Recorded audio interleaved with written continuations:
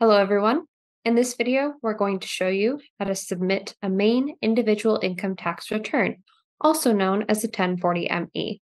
Before we begin, these videos use example numbers for the purpose of demonstrating how the Maine tax portal, also known as the portal, works as a system and the basic mechanics of how to use the portal. The videos do not constitute tax advice. If you have a question about how to file your own taxes, how to file taxes for your business, or how to file the taxes you are preparing on behalf of an individual or entity, you should seek assistance from a tax professional. Now back to the content of this video. For this particular example, we are going to demonstrate a simplified version of the 1040-ME for people who only file to claim the property tax fairness credit and or sales tax fairness credit, and have no other Maine individual income tax filing requirements. These credits are also known as PTFC and STFC.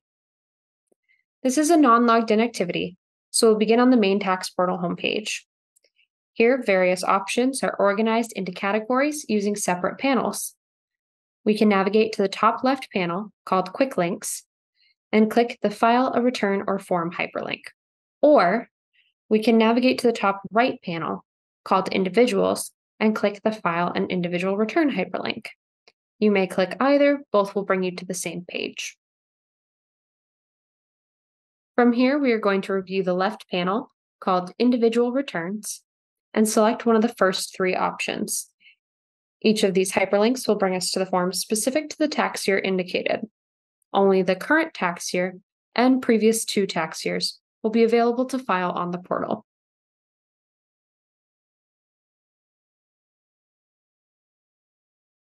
So, first is the instructions page. And as always, we do encourage you to read through any instructions thoroughly before you begin.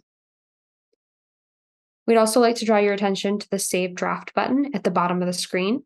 You may click this at any time to save your progress.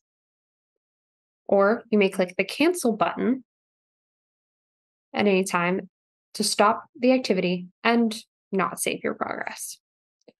You can navigate to a previous page by clicking either the previous button or by clicking on a previous page name in the blue bar at the top of the screen.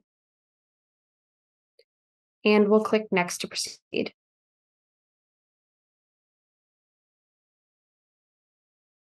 Next is the paid preparer information.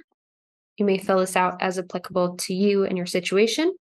For the purposes of today's demonstration, we're just going to continue on. And for the third party designee page, same thing. If you have a third party designee, you may fill this out. If not, you may click next to continue.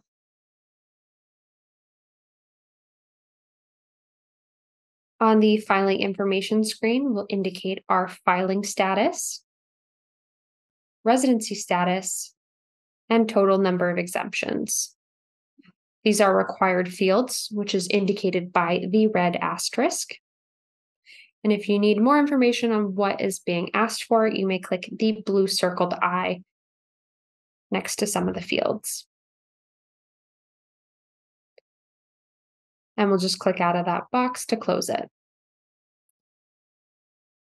Next is a series of yes or no questions. The first of which is Did you file a 2022 federal individual income tax return, also known as a 1040 return? For the purposes of today's demonstration, we're going to say no. And since we do not file a federal income tax return and are filing only to claim the property tax fairness credit or sales tax fairness credit, we will check yes to the question that asks if we are filing exclusively for one or both of those credits. And we'll click next to continue.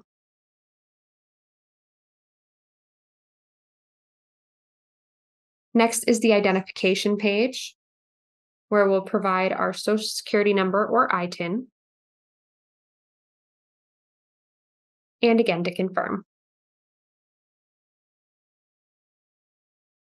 We'll also provide our first and last name.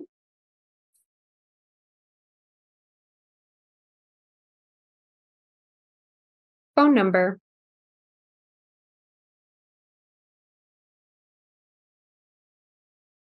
and date of birth.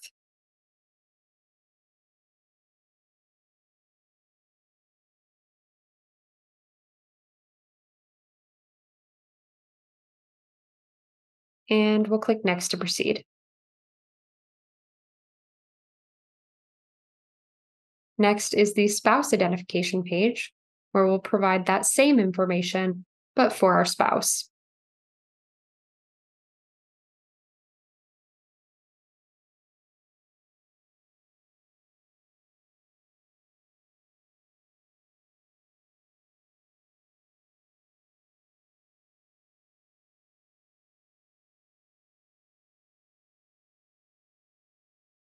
And once we've entered in all of our spouse's information, we'll click Next to proceed.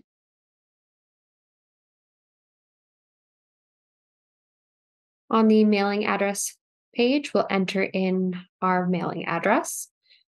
As always, addresses must be verified by the United States Postal Service, which you can do by clicking the blue hyperlink at the bottom of the screen.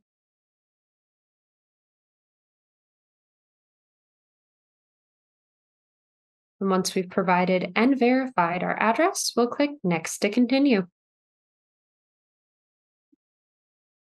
Next, we're asked to enter information regarding our income sources.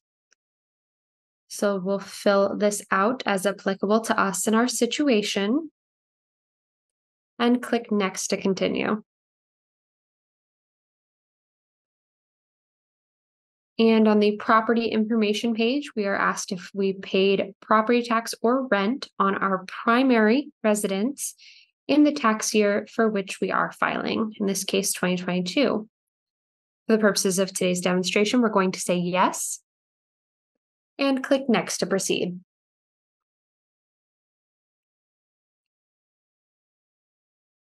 Next, we're going to enter information on our primary residence.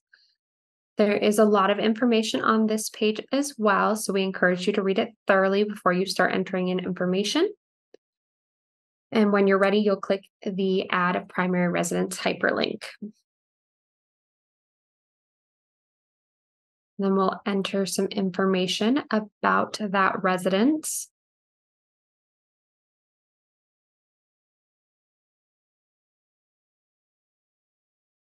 Including the property tax or rent paid on that residence. And when we're ready, we'll click Add.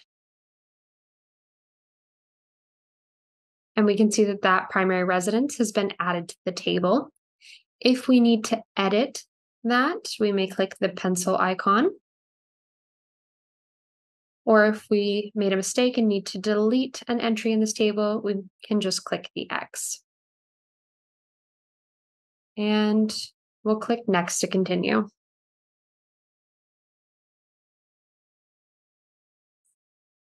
On the PTFC and STFC summary, we can see that our property tax fairness credit and sales tax fairness credit have been calculated for us based on the information provided. And we'll click next to continue. Since we are expecting a refund, we are asked if we would like to have that refund issued via direct deposit. We're going to say yes. If you would like a paper check, you'll just leave this question as no. If you say yes to direct deposit, you're asked if that refund will go to an account outside of the US. We're going to say no. And provide our routing number and account number.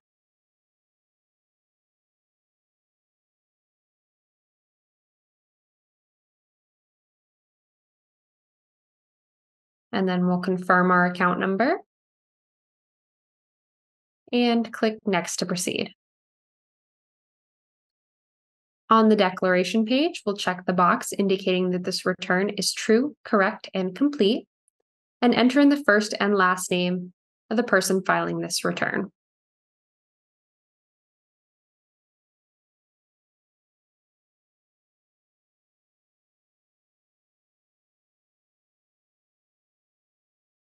And again to confirm, and then we'll click submit.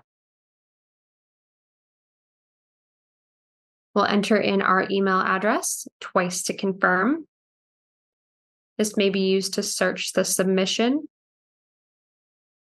at a later time.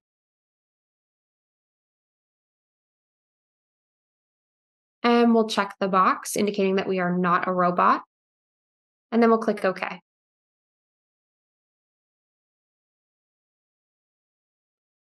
And that brings us to our confirmation page where the email address provided is reiterated back to us along with our confirmation number. As always, we encourage you to make note of this information for your records.